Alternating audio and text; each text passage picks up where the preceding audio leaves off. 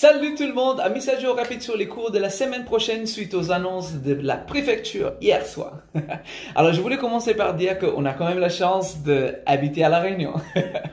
Alors, le préfecture n'a pas avancé le couvre-feu de 22 heures et en plus, en tant qu'école de danse, on a toujours la possibilité de danser mais sans contact. Donc c'est des bonnes nouvelles pour nous déjà parce que ça veut dire qu'on a la possibilité de continuer de faire des cours et de danser. Alors qu'est-ce que ça veut dire en détail?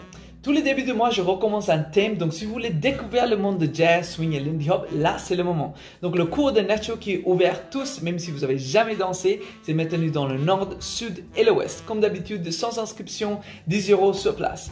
Donc, pour le premier ou deuxième semaine jusqu'à le 9 mars, je vais gérer le cours avec des exercices sans contact, comme on a déjà commencé et bien amusé dans l'ouest.